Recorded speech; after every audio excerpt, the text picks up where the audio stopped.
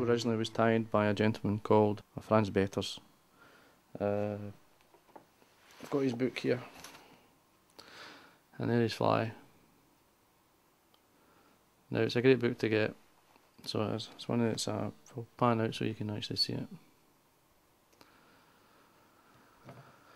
There you go. It's Fly Fishing and Fly Tying, a Patterns Guide by Franz, or Fran Betters. And uh, his famous flies are there, like the haystack and so on. Some really good patterns, certainly worth having. The book's worth having. It's one of the best books I've bought. So, if you come across it, get it into your collection. But anyway, it's a very easy fly to tie, simple fly, very effective fly, using one material, snowshoe rabbit. It's foot. There you go. That's a natural one. It's a pad there. It's a very unique, unique type fibre that it tends to repel snow. Or it keeps dry, so obviously I that's why he's used it. Ideal for dry flies. Uh, I've used these and they seem to just go on forever and ever. Great fly. But as I said, the material can be used in the wing, tail, and the body. It's a great dubbing. It's an excellent dubbing. Don't throw away the bits you cut off because you can put in a wee bag and use it later for a dubbing. Good, great in nymphs. The hook I'm going to be using is a Kamasan B160 size 14. Now it's actually the shank length, a short shank. It's the shank length is equivalent to a size 16, but the gape is a size 14. To me, it suits this style of fly really well.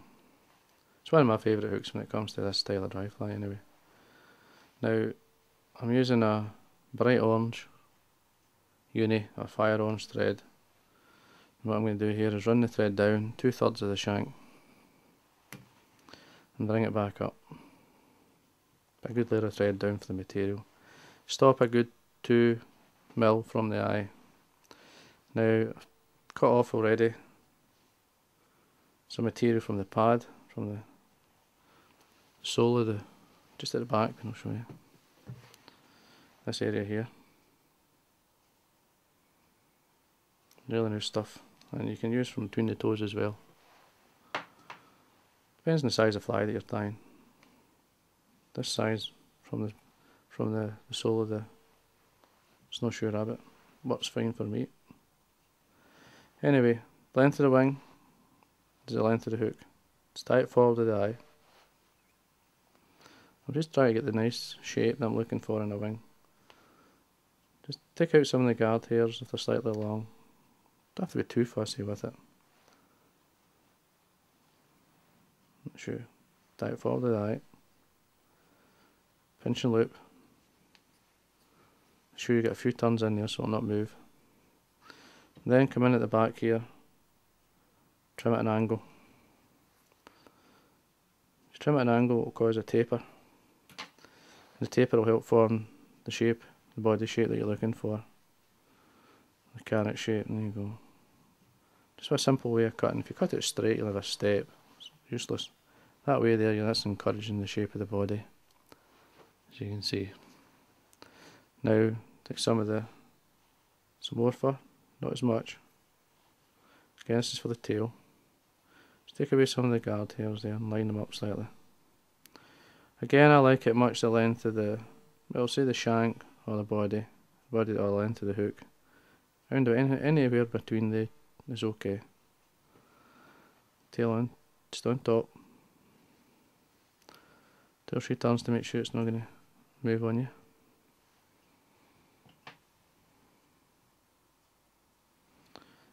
It's okay. Trim away the waste.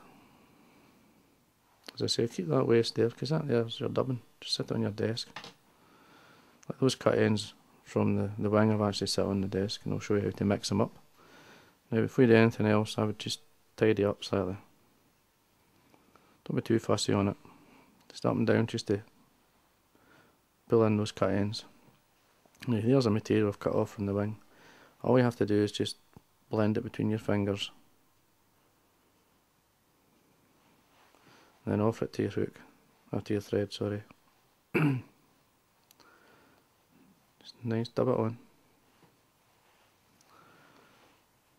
Slide it up. I like to get the material a good turn, a turn or so onto the body because that acts as an anchor point. It means then you can tighten up the dubbing as you wind. Just forming a nice shape all the way up to this point here. Now I like to either come through the wing with the dubbing or if you want just simply take some dubbing to the front and build it up. This will post the wing for you or lift the wing. Just simply doing that. Very easy to do. Then all you have to do then varnish the thread. I like to put the thread onto the, or the varnish onto the thread and then wet finish. Much easier to do that times than just put varnish on, covering your material. That's the easiest way to do it. And it's very strong as well. Basically in that shoe, that is it. Great wee fly. Tight in all colours, sizes. Sits high in the water and very visible as well. Great in the streams. And that's Fran Betters' usual.